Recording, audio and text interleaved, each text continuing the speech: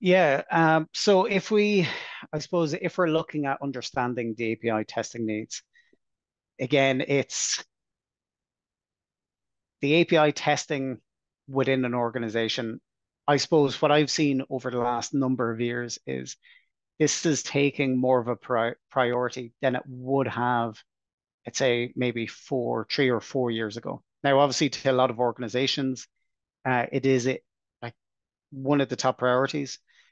But what I would have seen, and again, Joe, you can jump in here as well it, with your kind of observations, but I would have seen a lot of organizations that maybe would have focused more on UI testing initially.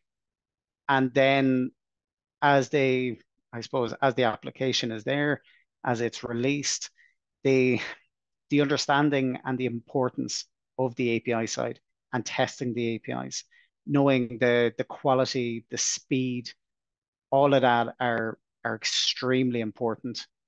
And there's a lot of organizations that quickly understand that and then need to implement their API uh, testing framework. So from looking at that, I, I believe we have the next slide We'll kind of touch on some of this here.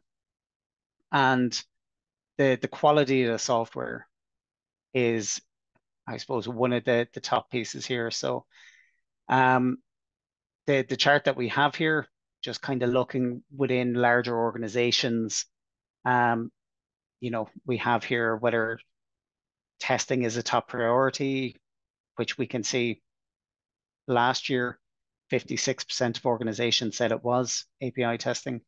Um, and then we have, you know, no, but they plan to do it in the future, and then it kind of goes down with yes, but not testing, or yes, but testing isn't a priority.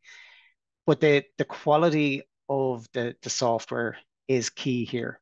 Um, I know from previous reports that we've done, like very very slight delays with regards response times of APIs. So if you're on an application, you're clicking buttons, but the actual response of the APIs is taking longer than it should, even one or two seconds or even half a second.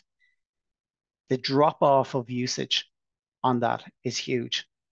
And again, one of the main reasons is nowadays there's so much competition there.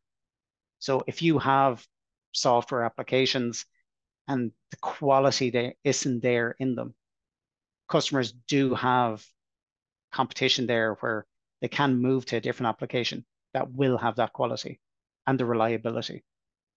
So the, the top piece here, the, the quality of the software, and then the bottom one of business continuity and user experience, to me, they kind of come together in, in a lot of ways.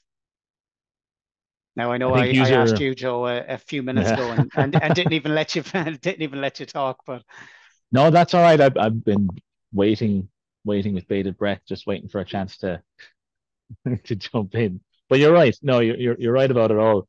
I think the one thing I'd add about your first point in in terms of when organizations decide to prioritize API testing and and what kinds of organizations uh, make that decision.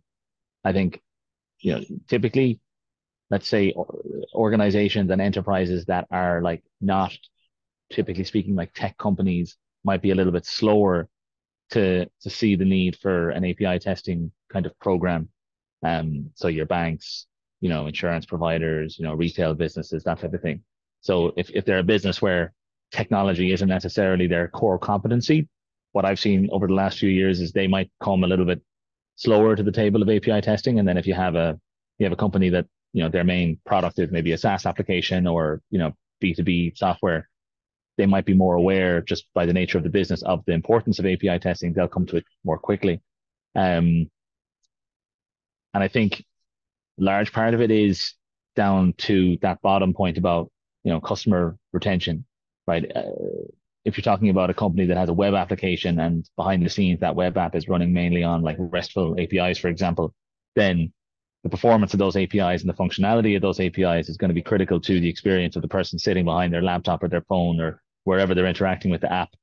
Um, you know, I think the understanding of the importance of UI testing and making sure that the first thing the user sees is working correctly has has been there maybe for a little bit longer, but um, certainly becoming more and more common with with API testing as well, um, as as we see in this lovely graph here.